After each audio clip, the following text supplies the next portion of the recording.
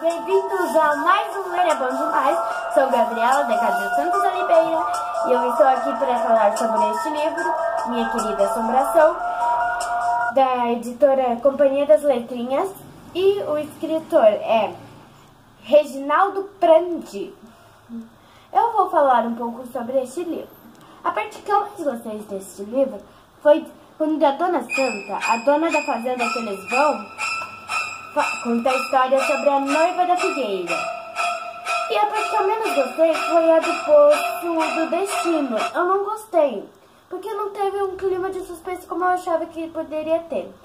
Eu gostei mais do da noiva da figueira. E se vocês quiserem saber a história e palpitar em qual vocês gostaram mais, leiam este livro e deixem nos comentários. Beijo, tchau! Até um